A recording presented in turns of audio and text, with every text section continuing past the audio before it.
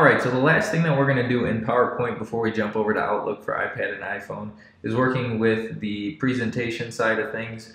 So to get into the slideshow view, to show your presentation to others, you're going to go over to this right-hand corner. Um, right now I have it set up as presenters mode so I can show you all the options. It's either going to be a play button here or an iPad with a, a computer screen. So go up to that right-hand corner and click on that. This will bring you into the slideshow view.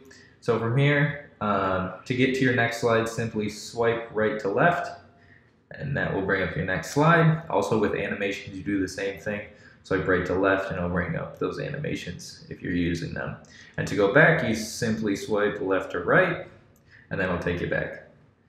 So now that we have the basics out of the way, there are a few things on that top taskbar that you can use. The first one is the piece of paper. If you click on that, it's going to bring up your notes screen.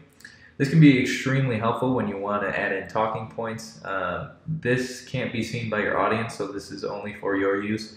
You can add notes for individual slides and use them um, throughout your presentation. So we'll go ahead and close that. The next tool is the pen tool. If you click on the pen, um, your audience will be able to see this. You can draw on your slide to highlight certain points. Um, and then from there, the one next to that, the pen with the gear, will change your pen settings. So that'll be the color. Um, you can change it to a thicker marker. You can erase cer certain pen marks, or you can clear the pen markings as a whole. So we can do that now.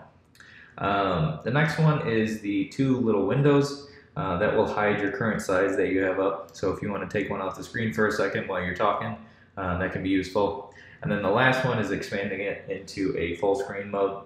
Uh, so you can just go ahead and swipe with that. So that is it for the PowerPoint uh, for iPod, iPad and iPhone, excuse me. Now we're going to head on over to Outlook.